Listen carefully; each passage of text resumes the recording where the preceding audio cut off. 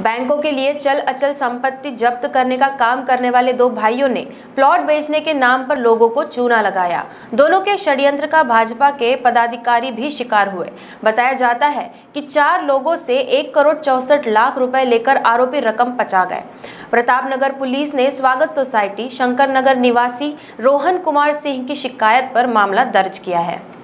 Police ने बताया कि आरोपियों में आदिवासी सोसाइटी, झिंगाबाई टाकली निवासी नरेंद्र राजेश वाहने और सत्यम अपार्टमेंट, जाफरनगर निवासी विजय उर्फ़ नीलू राजेश वाहने का समावेश है। प्रकरण में नरेंद्र की पत्नी की भूमिका भी संदेहास्पद बताई जा रही है। आरोपियों की ठगी का शिकार हुए लोगों में भारतीय जनता युवा मोर्चा के शहर अध्यक्ष पारेंद्र पटले, रोज़गार सेल के अध्यक्ष कुणाल पडोले और विपिन तेलगोटे का भी समावेश है। जानकारी मिली है की और भी लोग पुलिस से वाहने बंधु शिकायत कर सकते हैं। दोनों बैंकों के लिए सीजिंग का काम करते हैं। जो ग्राहक लोन की किस्तें नहीं भर पाते, उनकी संपत्ति जब्त करने का काम भी आरोपियों का है। अक्टूबर 2020 में आरोपियों ने रोहन को चार प्लॉट दिखाए। उन्होंने बताया कि चारों प्लॉट बैंक ऑफ़ बड़ौदा ने सीज किए हैं। जल्दी उनकी बिक्री की जाएगी। वे चाहे तो बैंक के अधिकारियों से सेटिंग करके कम दाम में प्लॉट मिल सकते हैं। रोहन को प्लॉट पसंद आ गए। आरोपियों ने ऑनलाइन सेल डील करवाने का भी आश्वासन दिया था। इसके लिए रोहन ने आरोपियों के खाते में बहत्तर लाख चालीस हज़ार रूपए